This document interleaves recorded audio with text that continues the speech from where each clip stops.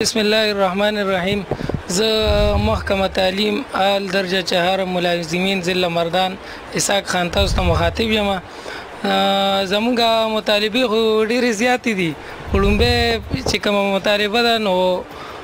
هغه دا چې په 1991 کې چې کوم کلاس 4 برتي شوی دي تر نن تاریخه پورې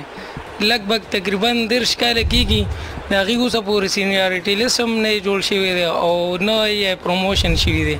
نو مونږه د ټول نه مخکې وړومبه دا مطالبه ده دویم زمونږه نور مرګري داسې رونه بایګان دي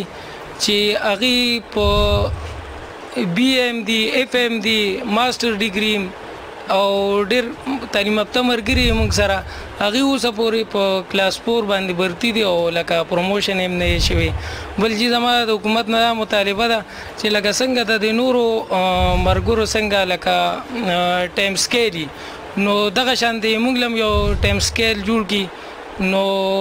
دا غي باره کې لکه زمونږ دا مطالبه دي او حکومت ته وړاندې کړو زه د صوبايي حکومت ډیره زیاته شکریه ادا کوم چې هغه د اجرت چې کم دی نو دا 21000 روپۍ یې ماهانه او چې کم دی نو زمونږه سرکاري چې کم کلاس 4 ملازمین دي نو دی غریبانان چې کم دی نو اوسم 15 14000 روپۍ تنخواه لي نو مونږ حکومت نه دا مطالبه کوو چې کم از کم دی 21000 نه خو سیوا شي کنه